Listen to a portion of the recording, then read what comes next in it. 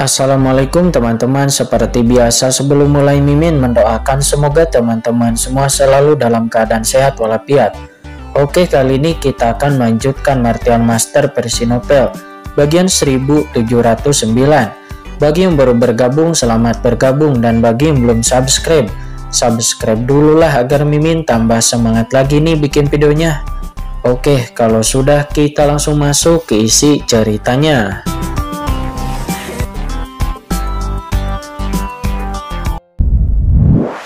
Ini, mata Mingdao dan yang lainnya sedikit merah. Dunia kosong yang hampa dan tidak banyak air laut mati. Para ahli transenden itu sama sekali tidak peduli dengan hidup dan mati orang lain. Mereka hanya terkejut mendengarnya. Tidak heran kalian bertiga selamat, lalu ke mana dunia kosong itu mengarah? Ini, aku juga tidak tahu, kata Mingdao dia menggelengkan kepalanya. Meskipun itu adalah dunia kosong, namun itu mengandung niat membunuh yang mengerikan dari laut mati. Aku tidak bisa bertahan terlalu lama di dalamnya dan aku hanya bisa keluar. Oh, seperti itu, kata Jenderal Mingyan. Dia berpikir dalam-dalam. Akan tetapi kemudian Tuan Jenderal Ming Yue merasakan sesuatu. Dia memfokuskan pandangannya dan seketika menatap Tuan Tianyin dan Tuan Nona Liu Jue. Dia mengulurkan tangan dan boom, Seketika kekuatan api dunia bawah yang mengerikan menyatu menjadi sebuah telapak tangan besar dan langsung menangkap Tuan Tianyin dan Tuan Nona Liu Jue. Tuan Jenderal Mingyan, kenapa? Tuan Tianyin dan Tuan Liu Jue menunjukkan kepanikan di wajah mereka. Tuan Jenderal Mingyan lalu berkata, Mengapa kedua basis kultivasi kalian meningkat pesat? Jenderal Mingyan merutkan kening pada mereka berdua yang lain tidak dapat melihatnya atau merasakannya. Tetapi Jenderal Mingyan dia adalah puncak tingkat dua transenden. Bagaimana mungkin dirinya tidak dapat melihat bahwa napas Tianin dan Nona Liu Jue telah banyak peningkatan. Kamu telah menerobos ke tingkat pertama dari puncak tahap awal transenden. Dia meraih mereka berdua secara sekaligus Tuan Jenderal Mingyan tidak dapat menahan rasa terkejut setelah merasakan kekuatan yang melonjak di tubuh mereka berdua.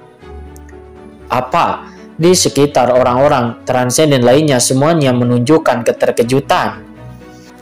Sebelumnya, Tianyin dan Liu Jue sama-sama merupakan kultivator lepas dan juga tetapi mereka semua hanyalah transenden tingkat pertama sebelumnya. Tapi bagaimana mungkin ada terobosan dalam waktu sesingkat itu?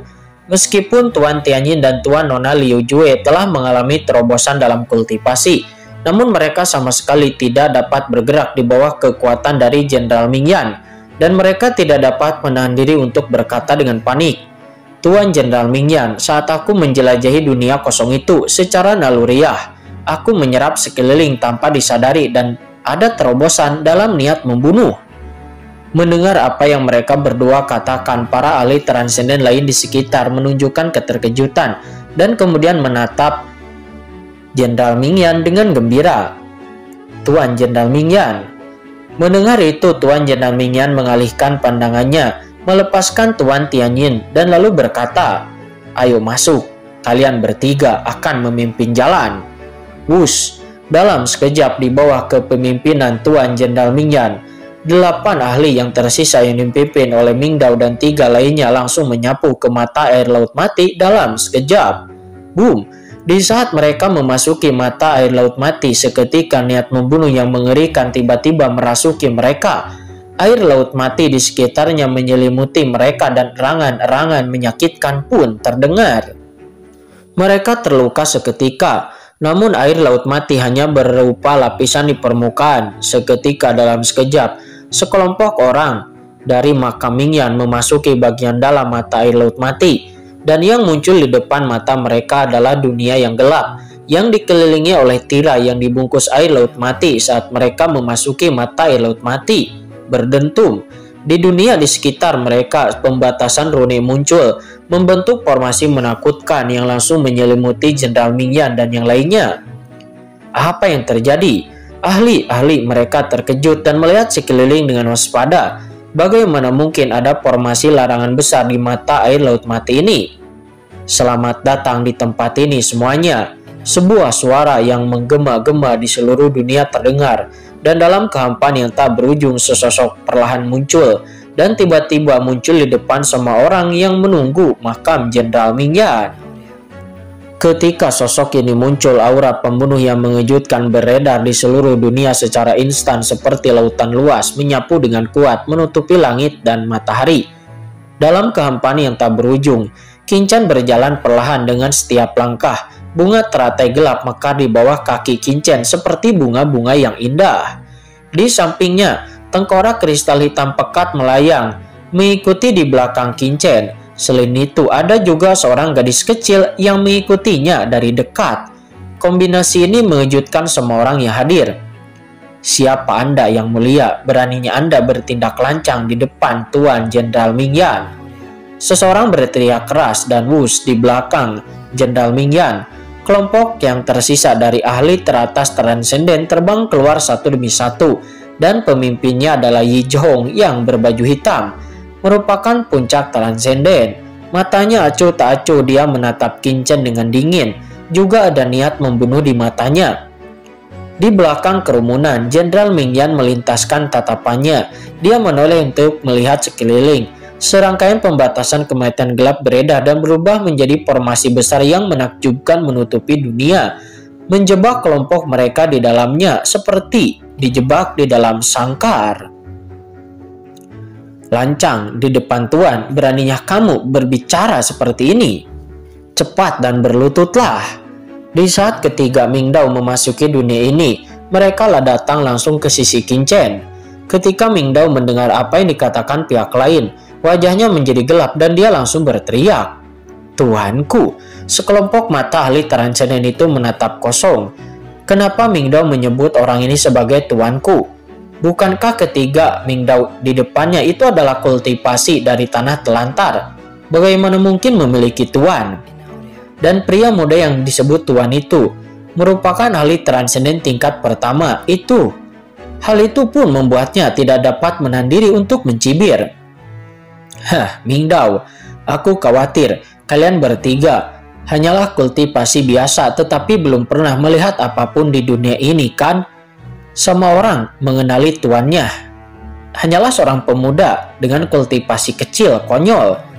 Di depan kuburan kematianku, ada area telarang lainnya, dan aku tidak berani bertindak liar. Hal macam apa yang ada anak ini yang bisa sombong di depan Jenderal Mingyan? Orang ini mencibir dan berkata dengan nada yang meremehkan. Aku akan memberimu kesempatan untuk berlutut dan mengatakan semuanya mungkin kamu akan masih memiliki kesempatan untuk bisa bertahan hidup. Tapi jika tidak, berdasarkan apa yang telah kamu lakukan sebelumnya, kalian bertiga pasti akan mati hari ini. Kata orang tersebut, sangat sombong, beraninya kamu bersikap kasar di depan tuanku. Kata Mingda wajahnya menjadi gelap. Tuanku, dia adalah penguasa mata air laut mati, penguasa tertinggi di tanah telantar ini dan dia bergegas untuk menyerah kepada tuanku untuk mencari pengampunan. Akan tetapi tetap saja para ahli di bawah komando Jenderal Minyan tetap mencibir sehingga kemudian seseorang mengangkat tangannya. Kemudian sebuah spanduk pembunuh jiwa yang gelap muncul di atas kepalanya. Spanduk pembunuh jiwa itu menyapu ke arah Kincen dalam sekejap. Boom! Suara hantu yang melolong yang tak terhitung jumlahnya bergema di antara langit dan bumi Jiwa-jiwa yang dijolimi yang tak terhitung jumlahnya melonjak dalam sepanduk tersebut seperti tsunami yang melanda. Seolah-olah ada banyak hantu yang melolong. Di bawah mata semua orang sepanduk pembunuh jiwa itu sampai di atas kepala Kincen dan hantu-hantu yang tak terhitung jumlahnya terbang di atasnya langsung menutupi kekosongan tak berujung di sekitar Kincen jelas bermaksud untuk menelan Kincen secara langsung. Tidak jauh dari sana, makam Jenderal Mingyan belum membuka mulutnya sejak dia masuk. Pada saat ini pupil matanya sedikit menus menyusut dan dia menatap Kincen. Jelas sekali ingin melihat bagaimana Kincen bisa menjinakkan serangan bawahannya itu. Melihat tingkat puncak transenden ini, ketika Mingdao terkejut, mereka telah merasakan kekuatan orang ini. Sebelumnya, meskipun orang ini seperti mereka itu adalah puncak transenden tingkat pertama, tetapi dalam hal kekuatan, orang ini bahkan lebih menakutkan daripada mereka. Karena orang ini pastilah telah mencapai jejak ranah transenden tingkat 2. Jadi di saat orang ini bergerak, aura mengerikan melonjak dari ketiga Mingdao. Jelas ingin menyerang bersama untuk memblokir serangan ini untuk Tuan Muda Chen. Akan tetapi sebelum ketiga Mingdao dapat bergerak, sebuah bayangan hitam muncul di depan mereka. Jie, Jie, Jie, jangan lakukan apa-apa. Ada begitu banyak jiwa yang kesal, hahaha. Lelur ini sangat menyukainya. Itu suplemen yang bagus untukku. Kata sosok hitam itu, dia melihat jiwa yang tak terhitung jumlahnya yang melompat turun di atas kepalanya. Dia melolong gila dan dia tidak bisa menahan tawa keras karena kegembiraan. Dan dia adalah leluhur 10.000 tulang. 10.000 tulang membuka mulutnya yang besar dan lalu menghisap. Segera kekuatan melahap yang mengerikan lahir, membentuk pusaran gelap di depannya dan roh-roh yang penuh kebencian itu seketika bergegas seperti nyengat yang masuk ke dalam mulut leluhur 10.000 tulang. Melihat itu, praktisi yang menyerang sebelumnya segera mendesak sepanduk jiwanya. Dia dengan panik mengaktifkan sepanduk jiwanya ingin meledakkan leluhur 10.000 tulang. Akan tetapi yang membuatnya berubah warna adalah tidak peduli bagaimana dia memobilisasi bendera penghancur jiwanya Lelur 10.000 tulang dengan mulut besarnya tetap saja menelannya. Tidak peduli berapa banyak jiwa yang dijolimi datang, itu akan tetap ditelan dan tidak akan ada yang tersisa. Puncak tahap awal transenden itu merasakan aura bendera pembunuh jiwanya menjadi semakin melemah saja, dan dia langsung terkejut buru-buru ingin menarik kembali bendera pembunuh jiwanya. Akan tetapi bagaimana mungkin leluhur 10.000 tulang dapat membiarkannya? Di saat dia merasakan bahwa pihak lain akan mengambil kembali sepanduk pancur jiwa, lelur 10.000 tulang bergegas maju, membuka mulutnya lebar-lebar, menggigit sepanduk pancur jiwa dengan satu gigitan. Ahli transenden puncak tahap awal itu terkejut melihat ini. Itu adalah pertama kalinya dia melihat seseorang yang bisa menggigit bendera pembunuh jiwa miliknya. Bendera pembunuh jiwa miliknya itu adalah harta tingkat transendensi. Bahkan jika itu adalah ahli transendensi tingkat 2, tidak akan dapat meledakkannya dengan mudah. Apa-apaan tengkorak di depanku ini? Sambil merasa tertekan, dirinya segera mengeluarkan pedang panjang hitam pekat lainnya, dan pedang panjang hitam pekat itu berubah menjadi bayangan pedang hitam berkabut menebas ke arah leluhur 10.000 tulang. Akan tetapi di dalam menghadapi tebasan bayangan pedang ini, leluhur 10.000 tulang sama sekali tidak peduli dia terus menggigit sepanduk pembunuh jiwa. Dan setelah hanya beberapa gigitan lagi, sepanduk pembunuh jiwa itu benar-benar tergigit dan seluruh tubuhnya tergigit. Dan leluhur 10.000 tulang menelannya. Hei, ada banyak jiwa yang penuh dendam di sini, tetapi kualitasnya tidak bagus. Kata 10.000 tulang, dia cegukan dan berkata agak tidak puas. Dengan basis kultivasinya, jika dia ingin memulihkan kekuatannya, dia setidaknya harus melahap jiwa-jiwa dari kekuatan super tingkat transenden. Tetapi ada banyak jiwa yang penuh dendam pada sepanduk pembunuh jiwa ini. Akan tetapi kebanyakan dari mereka adalah tipe jiwa yang penuh dendam bahkan bukanlah ahli transenden. Bagi leluhur 10.000 tulang ini hanya dapat dianggap sebagai pengorbanan yang sangat menyakitkan. Dasar orang sialan, Melihat bahwa bendera pembunuh jiwanya langsung ditelan oleh leluhur 10.000 tulang, rasa sakit dari kesadaran yang terpisah di level puncak itu. Tiba-tiba merasakan ketakutan dan marah, dia tidak peduli dengan hal-hal lain. Dia mendesak dirinya sendiri secara ekstrim seketika bayangan pedang yang tak berujung, seperti angin musim dingin, menebas tubuh leluhur 10.000 tulang.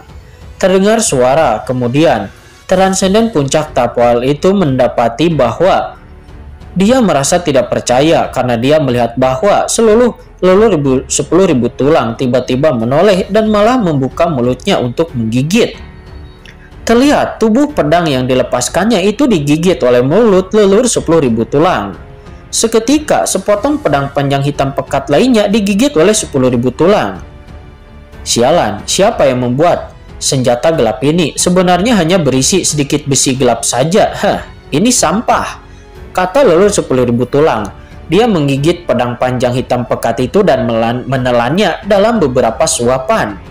Dan dia berkata dengan tidak senang, Tidak, pedang pemotong gelapku. kata ahli transenden puncak tahap awal itu dan boom. Ahli transenden puncak tahap awal itu kehilangan dua harta transendennya satu demi satu dan dia tiba-tiba merasakan rasa sakit tajam di hatinya dan seketika seteguk darah pun menyembur keluar dari mulutnya. Pedang Jenming apa? Hah, namanya sangat besar, tetapi itu hanyalah sampah. Kata lelur 10.000 tulang. Dia berkata lagi dalam beberapa suapan terakhirnya menggelengkan kepalanya. Hah, apakah kamu punya harta lainnya? Keluarkan semuanya, aku belum cukup untuk makan. Kata lurus 10.000 tulang, dia membanting mulutnya, seolah-olah belum cukup. Melihat penampilannya, gadis kecil di sampingnya tiba-tiba tertawa. Puncak kali transenden tahap awal itu tidak bisa tertawa sama sekali. Wajahnya pusat, pucat, seolah-olah dia telah melihat hantu dan dia tidak bisa menahan diri untuk mundur beberapa langkah. Melihat kejadian itu, ekspresi orang-orang di bawah komando Jenderal Minyan lainnya seketika berubah. Akhirnya mereka pun mundur selangkah. Karena dalam hal kultivasi, mereka tidak jauh lebih kuat daripada puncak tahap awal transenden sebelumnya. Dan mungkin jika mereka maju, mereka hanya akan menjadi makanan pihak lain. Tuan Jenderal Mingyan Sekelompok orang pun buru-buru menoleh dan menatap Jenderal Mingyan. Hal itu membuat Jenderal Mingyan menus dingin. Dia berjalan maju, menyipitkan mata. Teman-teman, sepertinya periasatku sebelumnya benar. Memang ada yang aneh di mata air laut mati ini. Katakan padaku, ada apa asal-usul kalian dan dari daerah mana kalian berasal? Di sini seharusnya tidak hanya untuk bertemu denganku, kan? Kata Jenderal Mingyan. Dirinya saat tenang dan sama sekali tidak merasa bahwa dia telah memasuki situasi berbahaya.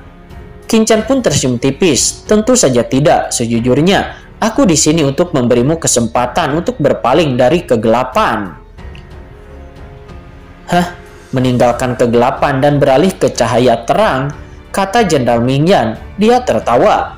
Yang mulia berkata begitu, itu berarti kuburan kematianku adalah kegelapan dan area telarang tempat yang beliau berada itu adalah area yang terang. Itu konyol. Di tempat telantar ini, bahkan tempat-tempat seperti gunung mayat hidup, aku tidak berani mengatakan sebagai kuburan kematianku. Itu merupakan nada yang sangat besar. Kata Jenderal Mingyan, dia mencibir. Lupakan saja, karena kamu tidak ingin mengatakan dari daerah telarang mana kamu berasal. Tidak apa-apa, setelah aku menangkapmu, aku akan tahu dengan sendirinya. Kata Jenderal Mingyan setelah mengatakan itu dia berhenti berbicara dan segera melangkah maju. Bagaimanapun dirinya menyadari tidak akan ada hasil jika komunikasi terus berlanjut. Jadi lebih baik melakukannya secara langsung dan bu. Dalam sekejap cermin yang terbuat dari api kental muncul di depan Jenderal Mingyan. Begitu cermin api ini muncul, api hitam pekat yang tak terhitung jumlahnya melonjak keluar dari kehampaan Begitu api ini muncul, kehampaan di sekitar pun langsung hancur, terbakar dan terdistorsi. Suhu di seluruh ruang tiba-tiba naik dan semua orang mundur ke samping. Tuan muda Chen, biarkan aku maju, kata 10.000 tulang. Melihat ini, dia menatap cermin yang menyala dengan bola mata yang lurus bergegas maju. Namun Kincan berkata dengan ringan, serahkan orang ini padaku, kamu mundur dulu. Seperti yang dikatakan King Chen, dia dengan santai mengirim gadis kecil itu ke sudut di belakangnya. Pedang karat misterius tiba-tiba muncul di tangannya dan menyambar seperti kilat. Makam api dunia bawah ini akan menjadi pasukan puncak ganda pertama yang ditemuinya di dunia bawah dan King Chen juga seorang jenderal di daerah telarang. King Chen tentu saja ingin tahu seberapa kuat ahli teratas transenden tingkat 2 jenderal di dunia bawah ini. 10.000 tulang langsung merasa sedikit tersesat, tetapi dia tidak khawatir tentang Kincen sama sekali. Meskipun Jenderal Mingyan tidak lemah, namun dia pasti jauh berada di belakang Kincen. Jika dia tidak perlu, oleh karena itu, 10.000 tulang tidak khawatir sama sekali. Satu-satunya hal yang perlu diwaspadai olehnya adalah kekuatan di tubuh Jenderal Mingyan. Jika itu benar-benar kekuatan Dewa Kematian, maka itu tidak boleh diremehkan cermin api menjadi semakin besar dan akhirnya menutupi Kincen sepenuhnya seperti matahari yang terik menutupi langit untuk menghadapi orang setingkat Kincen. Jenderal Mingyan benar-benar tidak menganggapnya serius sedikit pun. Dia ingin menangkap orang di depannya ini dengan cepat dan mengeluarkan kekuatan penuhnya. sehingga dia bisa tahu apa yang terjadi dengan mata air laut mati ini sesegera mungkin.